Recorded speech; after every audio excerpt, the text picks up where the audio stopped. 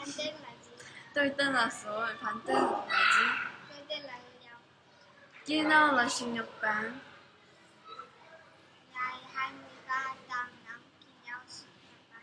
Ngày ờ, ba ngày mười ba tháng ba Bạn thích tập tên gì?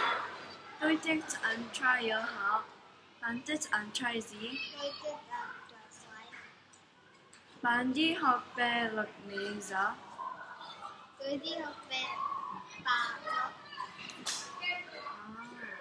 Tôi đi học về là 7 giờ. Chào bạn. Bye bye.